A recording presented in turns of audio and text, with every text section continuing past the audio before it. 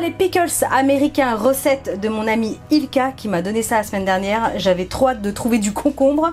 Alors du coup, il vous faudra un concombre. Alors je pense que je vais utiliser qu'un demi parce que mon bocal est petit. Mais si vous avez un grand bocal de cornichons, vous en prenez un entier. Et vous l'aurez compris, il faudra donc un bocal de cornichons avec évidemment son jus, ses petits euh, condiments au fond, ne les jetez surtout pas. Quand c'est vide, vous gardez tout ça et je vais vous montrer, c'est tout bête, comment on fabrique des pickles américains grâce à Ilka. Allez, c'est parti Alors, dans un premier temps, évidemment, vous allez bien laver le concombre. Ensuite, je vais couper une extrémité et après, je vais faire des petites rondelles, tout simplement. Vous savez, c'est ce qu'on trouve dans les hamburgers. Ben là, vous allez pouvoir cet été faire des hamburgers maison avec des pickles américains, des vrais pickles américains. Vous allez voir, c'est un truc de malade. Donc je découpe des rondelles plus ou moins tous de la même taille, tant qu'à faire. Alors, je pense que ça va être vraiment trop un, demi. Je vais peut-être... Ok, donc ça sera peut-être pas un demi. Il est vraiment tout petit. Il fait combien le mien? 400 euh, grammes, 205 grammes poinettes égouttées.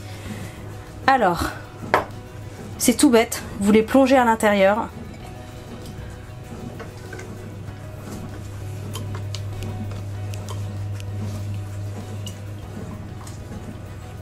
On va bien mélanger.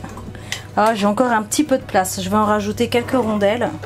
J'ai même pas eu le temps d'enlever l'étiquette. Hein. C'est tel quel. Brut. Ok, donc je vais rajouter ça. Alors Ilka c'est une amie américaine. En fait à la base euh, c'était notre voisine quand, euh, bah, j'étais petite. Et euh, elle a trois filles. Marilyn, Sylvia et Nathalie. Peut-être qu'elles regarderont cette vidéo, je ne sais pas. Et Sylvia et Nathalie, c'était mes copines d'école. Ce sont des jumelles. Et on a été ensemble bah, à l'école, dans les mêmes classes, primaire, collège. Et donc du coup, on était voisines et j'habitais dans un immeuble, j'étais au cinquième étage et elles étaient au dernier étage. C'était au 15e si je me trompe pas. Et euh, des fois le midi, on allait euh, avec euh, ma petite sœur, on allait manger chez, chez elle. Et puis certaines semaines, c'était l'inverse. Et donc du coup, voilà. Du coup, je ne sais plus ce que je fais, que de souvenirs. Et c'était super elle nous faisait des hamburgers et je me souviens d'un truc qu'elle faisait, c'était génial. Elle prenait des petits pains euh, à burger mais un peu briochés et elle mettait du beurre de cacahuète dedans. Ça, ça c'était vraiment ultime. Donc du coup, euh, voilà, vous connaissez une petite tranche de vie. Euh, je vais bien mélanger, je, je vais pas en faire plus parce qu'ils vont être complètement serrés et je veux qu'ils macèrent bien. Donc là ce qui va se passer c'est que j'avais commencé à le faire mais j'ai raconté ma vie entre temps. Gros placement produit sur le dessus. je referme le pot, je vais le mettre au frigo et je vous donne rendez-vous dans 24 heures. Vous allez voir, c'est bluffant. Allez, pour vous ça va être une fraction de seconde, mais pour moi ça va être plus long. ok, nous voilà donc 24 euh, heures passées après. On va pouvoir regarder ce que ça donne et surtout goûter. Ça sent très très bon. Alors, ils ont ramolli, on peut, on voir. Ils ont pris une petite couleur un peu plus jaune. Oh, ça sent super bon. Allez, c'est parti. Dégustation. Regardez. Oh là là. Oh, mais c'est trop bon. Oh, c'est énorme.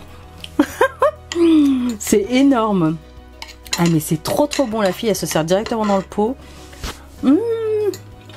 Ilka, ta recette elle est super bonne. Mmh. Mmh. Ils ont gardé leur croquant, mais alors ils ont pris tout, tout le goût des aromates, du vinaigre. C'est super. Je pense que ça se conserve longtemps. Il va je lui demande. Oh, à mon avis, ils vont pas, ils vont pas rester longtemps parce que de toute façon, c'est un petit bocal que j'ai. Et ici, on aime beaucoup les condiments, tout ce qui est cornichons, tout ce qui est olives, graines, lupin, tout ça. Oh là là magnifique. Donc ça va pas faire long feu, mais vu que c'est dans du vinaigre, je pense que ça se garde des semaines au frigo sans problème. Ils vont même gagner en maturité. Donc voilà, des petits pickles pour euh, printemps, été, pour quand vous faites des barbecues, vous mettez ça à table, vous les faites vous-même. Quand vous faites un hamburger, mais c'est vraiment génial quoi, franchement le top. Allez, je vais en servir, je vais vous montrer.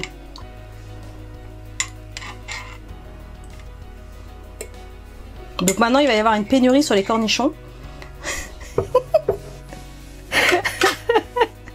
Plus de bocaux de cornichons. Regardez, c'est génial. Franchement, ça le fait grave quoi. Oh, super, super. Merci en tout cas Elka pour cette recette. C'est génial, je suis trop contente. Euh, j'espère qu'elle vous aura plu. Likez, partagez, abonnez-vous à ma chaîne si ce pas encore fait. Et moi, je vous dis à très bientôt pour des recettes super méga gourmandes. Ciao